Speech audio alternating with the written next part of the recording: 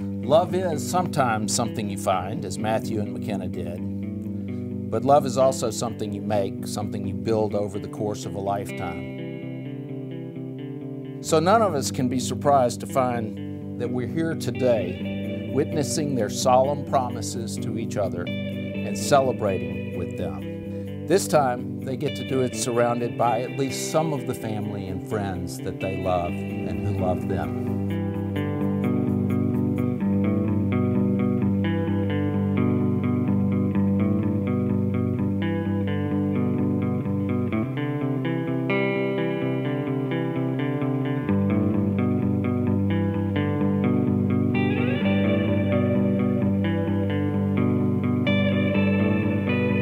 Don't think McKenna was looking for Matthew, either generally or specifically, when she set out to travel the world through the lens of a horse.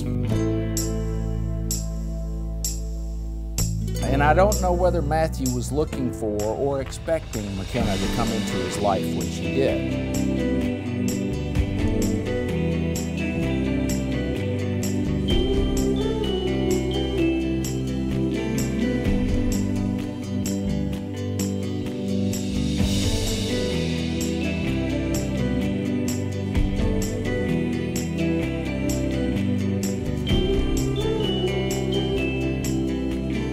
I do know that from the time they met, they haven't been very far from each other's minds, even though they've been far apart geographically.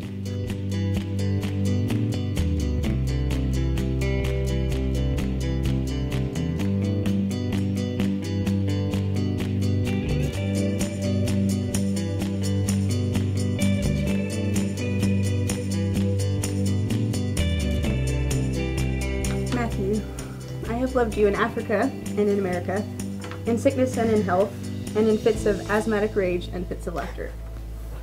I promise to take you as you are, loving who you are now and who you grow to be. I won't ever forget that you moved halfway across the world just to be with me. Marriage is the promise of a lifelong union, physically, intellectually, and emotionally.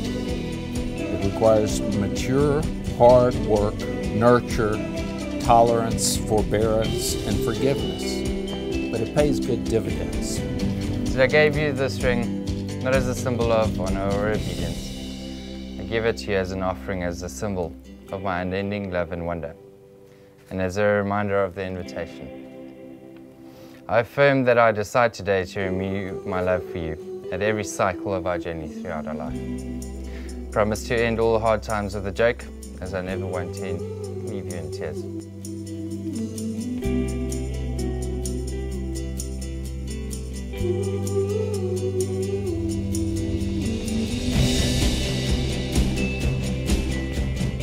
As they exchange wedding vows, each of them is holding an oathing stone. This is derived from an ancient Celtic tradition that holds that any oath made near water or near a stone or on a stone is stronger and more binding.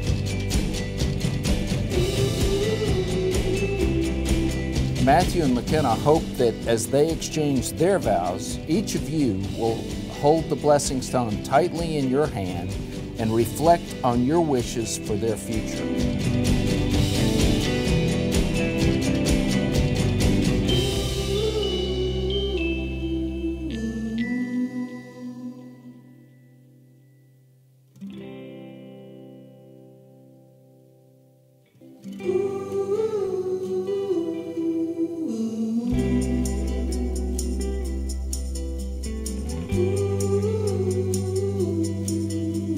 My honor to pronounce you still husband and wife.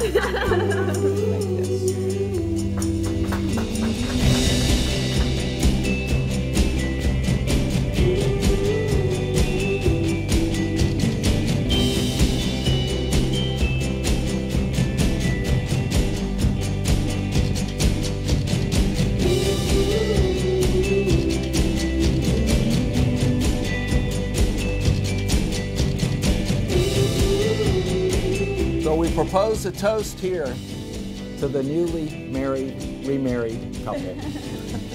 Cheers.